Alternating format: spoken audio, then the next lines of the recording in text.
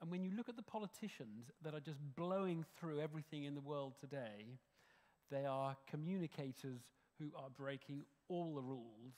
They are Boris Johnson, Donald Trump, to some extent Nigel Farage, um, Jeremy Corbyn. I mean, it's just the people who are sort of igniting and exciting people do tend to be people who are not obeying the rules.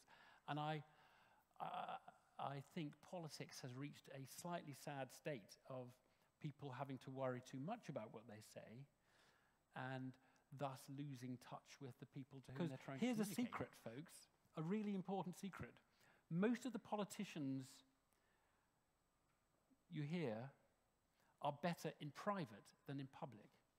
Now, that is a, a really peculiar thing for a country. Our politicians, you talk to them in private and they're engaging and they're interesting, they're interested, they've got views, they kind of think aloud, they know what they're doing right and wrong, and you can have an intelligent conversation with them.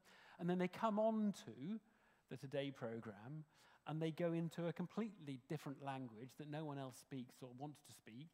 Uh, and they say stuff that isn't as intelligent, isn't as engaging. The leaders' interviews were a very, a, a slightly special case because I think there was quite a big expectation of a, a kind of an adversarial interview.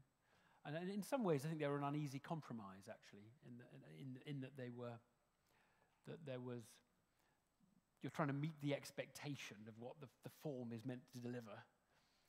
And you're kind of restricted into how far differently you can do it.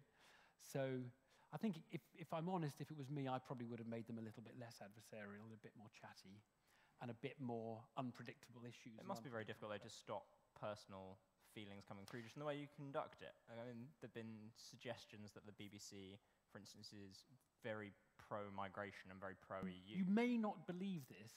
I'm actually much more open-minded about a lot of issues than personally than, uh, th th th than you might expect. How often will I argue a point that I think is complete rubbish? Um, on, I mean, I, I, have done it. I have, I have done it. I'm, I'm arguing a point because I think it's important that the argument is carried out. But do I argue a point that I think is complete rubbish as much as one that I think may have some validity? I don't know. I think I probably don't. I mean, I think I probably, I probably do filter the arguments that I kind of think are interesting or edgy or need airing to some extent. I've got a really interesting stat okay, on, on the subconscious bias one, which okay, I, yeah, I'm sure you can guess the background it comes from. Um, in your leadership interview with Ed Miliband, which you said was supposed to be more confrontational, um, all the leaders' interviews mm. were supposed to be mm. more confrontational, you interrupted him 32 times. Mm -hmm. Whereas when interviewing Nigel Farage, whose views would be perhaps considered a bit -hmm. less BBC, um, that was almost well, getting closer to double that. It was 50 mm. interruptions. Do you think there's merit on that, or do you think Farage just needs more prodding? It's a factor of who well, he is. Uh, we ran out of questions on Ed Miliband. Ed Miliband's answers were very significantly shorter than Nigel Farage's answers. Mm -hmm. And I think we had about the same number. I had, I had in my hand, in the bits of card, probably the same number of questions for the two. And so I think uh, some of what is going on in that comparison is crisper answers from I do not think, mm -hmm. for what it's worth, um, that I would call it a fundamental change in our relationship with the European Union. I'm happy to say that. It doesn't look like that.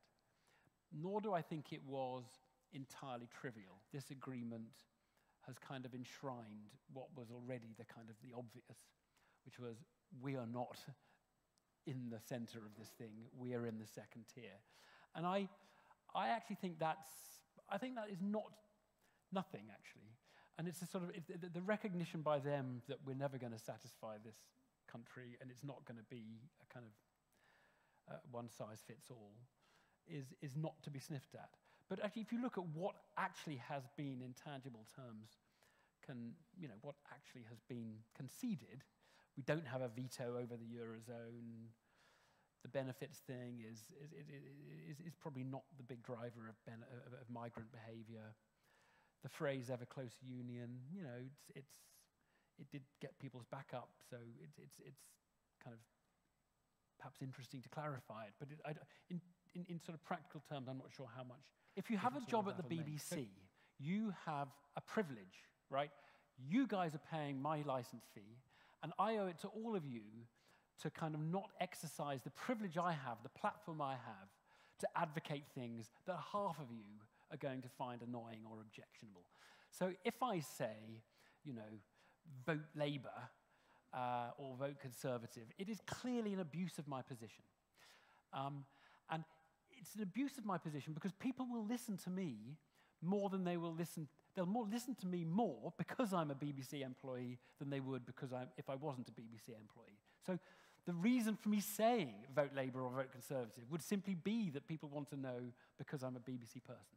So I cannot pronounce, and nor should my colleagues, publicly, at a small dinner party of three people maybe, but cannot pronounce publicly on issues in which people might. I'm always asked, differ. who's your favourite dragon? That's always my first question, and, It's Deborah Meaden. and it's Deborah Meaden. You, Okay, you- well, yeah. before we get asked that, why? De- Deborah is very grounded, and she, she doesn't she doesn't feel a need to project, and uh, you, know she's just she's just she's she's not a kind of. It's hard, isn't it? Because if I say she's not a show off, that obviously implies the others are show off. But she's not a show off, and